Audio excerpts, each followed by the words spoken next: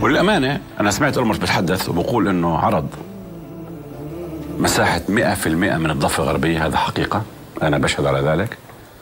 عرض خارطة قال بدي أخذ 6.5% من الضفة الغربية وبقدم في المقابل مقابلها 6.5% من منطقة 48 وقال لأبو مازن مساحة الضفة الغربية وقطاع غزة عشية 4 حزيران 67 كانت 6235 كيلو متر مربع.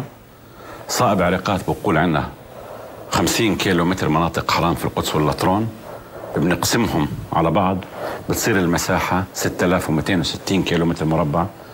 أولمرت بده يقدم لك 20 كيلو متر زيادة عشان تقول أخذت أكثر من مساحة ال 67 والقدس ما هو عربي عربي وما هو يهودي يهودي وبنخليها مدينة مفتوحة واللاجئين عرض عليه 150 ألف لاجئ.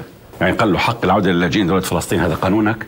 لكن بالنسبة لإسرائيل بناخذ 150 ألف لاجئ لا 10 سنين يعني 15 ألف على مدى 10 سنين.